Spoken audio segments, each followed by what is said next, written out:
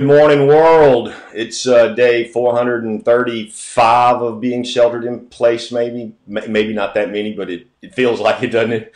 I mean, it's uh, man, it's crazy. I I am still out and about. I have I'm in what they call an essential uh, job. We we do construction, I oversee uh, the production in other areas of a stone company, and so I'm I'm still hitting it. Uh, but I, I, know a lot of you are just stuck at home and, and quarantined and uh, working from home or, or whatever. And uh, I'm glad you joined me this morning, uh, or you're watching this a little bit later.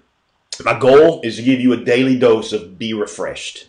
That is a daily dose of refreshment. Um, I, I, like to consider myself a dealer in hope, and uh, it's it's what I love to do is just provide hope. And sometimes that that feels like medicine in order to get to that place. And so uh, we're, we're, looking at uh, five attitudes right now, and I started yesterday.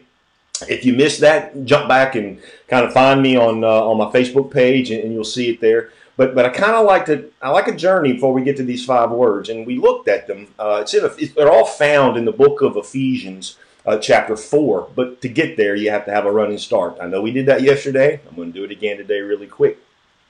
But we're talking about five attitudes: the attitude of humility, to be completely humble to be completely gentle, to be patient, to be forbearing, and to, to create uh, and have an attitude of unity. And so these are the things that we're looking at. But but to get there, to make sense of those things and how we can even have those attitudes, which are powerful, by the way, in the home uh, and in the workplace, really wherever you are. But right now, it's usually home or workplace, right? That's kind of where we're sheltering.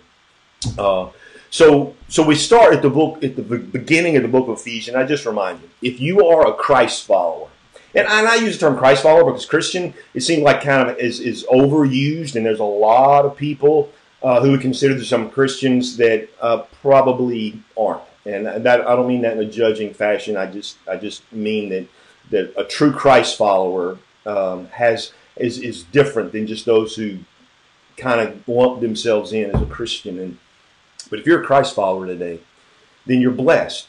You're blessed with every spiritual blessing in the heavenly place. It has nothing to do with our sheltering in place. It has nothing to do with, with the virus. You could have it. You could maybe you don't. Maybe you do. Any of that. None of that takes away these blessings. You've been blessed with every spiritual blessing in the heavenly places. You've been adopted by God the Father, brought into His house, treated like you were His very own, treated just like He treats Christ. In fact, the same inheritance that Christ gets, that Jesus does, so do you. You've been adopted. You've been brought in, not just to live like I like to say in the bunkhouse, but but in the big house. And and you've been lavished with grace. Grace is getting what you don't deserve, and you've been lavished with that redemption. You've been bought back. You were you were like a slave to sin, and God reached down and He bought you back on that slave market and redeemed you. And this is who you are. You got to know this uh, if you're going to live these attitudes out. We've been forgiven. That's huge. Huge. Listen, if, if people understood forgiveness, I, I'm told by, by doctors and other things that psychiatrists and so forth, that if we could assure people of their forgiveness, we could empty out most of the mental hospitals that we have. It's, it's a crazy thought, isn't it? And you and I have been forgiven of everything, of everything. Everything I did in my past, everything I'm going to do today, and everything I'm going to do tomorrow. That forgiveness is a constant. And I mean, I got so much I'd love to say about that, but I don't. We got to fly. Uh, I don't know how long you're going to be here. then I've been given the Holy Spirit. The, the Holy Spirit, God Himself, has been deposited into our lives as Christ followers. So that He now is my GPS. He's the one that's leading and guiding me to true north, to, to be like God wants me to be. And, and so I'm, I'm blessed with all of these things. Not to mention that heaven is my home and I've got a destination. This this old body's wearing out. But man, one day I'm gonna I'm gonna have a new one and I'm gonna be living in this heavenly city and and and that's what's going on. But I didn't start out that way, neither did you. We started out uh, dead in our trespasses and sins, the scripture says.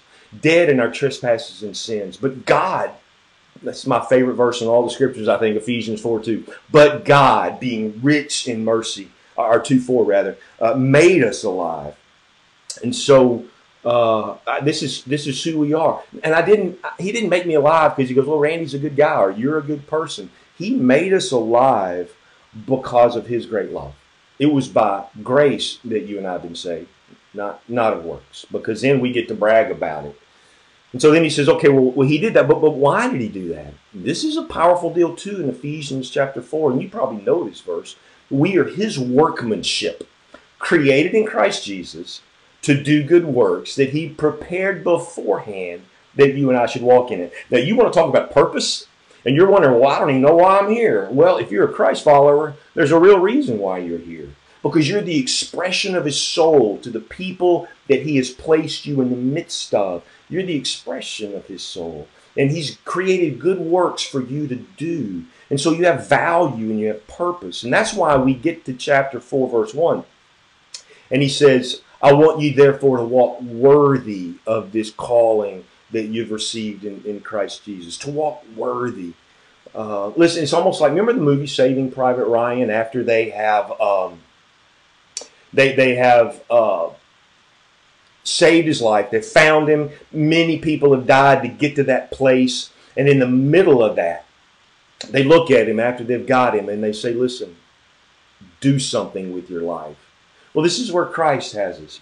Do something with your life. This is this is where we are. And so we begin to look at these things and he says, "Therefore, as a prisoner of the Lord, I urge you to walk in a manner worthy of the calling to which you've been called, with all humility and gentleness and with patience, bearing with one another in a spirit of unity." And so these are the qualities, these are the attitudes. Now listen, if we know the truth that that we've been blessed, if we know this, I'm blessed, then then that truth always listen truth always when it lodges and when we when it connects with us it drifts to the heart the heart is kind of like the windshield of how we see life. And if my truth is that i'm blessed that i and i'm blessed and i didn't deserve it and the reason why i'm here is to do good works my attitude shifts tremendously. And so this is what he's saying. I want you to have these attitudes in you.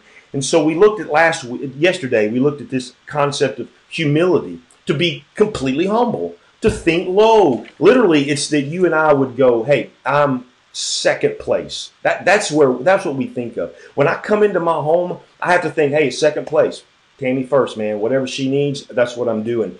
And so so I serve her in that capacity. Now, if she were in here, she would tell you that's not true. I don't all the time, but I do when those times when I know who I am. And and my son Jackson, he walks in.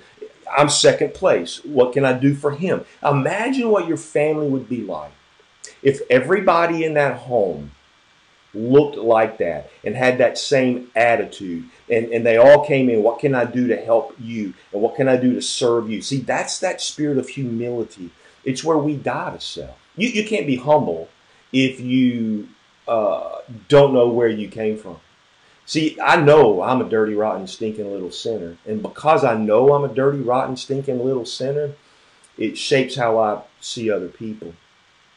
And so when I realize that my goal is to serve others, it's a game changer.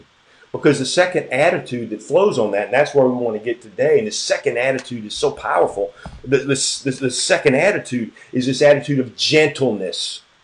Now, gentleness doesn't mean wimp, doesn't mean uh, milk toast. It doesn't mean you know I'm just a wet noodle and I just I'm kind of just you know all meek and and quiet and somber. It has nothing to do with that.